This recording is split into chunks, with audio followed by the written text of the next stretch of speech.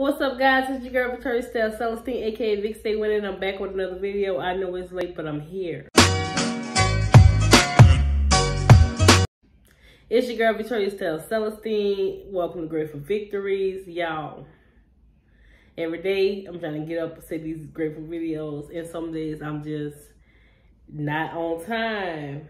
But late is better than never and I'm doing it. I'm I'm here. I'm doing it. Okay, I'm here.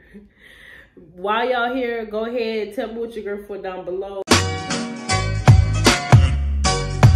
Uh, make sure y'all come back and see your girl. I need encouragement. Y'all know I'm here to encourage y'all every day. I need some encouragement, okay? I need some encouragement too. Thursday, December 2nd, and I'm grateful for my gifts. And I, when I say my gifts, I mean my gifts as far as being a teacher, um, my organizational skills, the way I'm able to plan, um, be very strategic. I'm grateful for all those gifts and I'm believing that those gifts are going to get me to where I want to be. I know that those gifts are going to help me, you know, build my dream life and help me, you know, do all the things that I desire to do as far as helping other people and just being a good person overall. But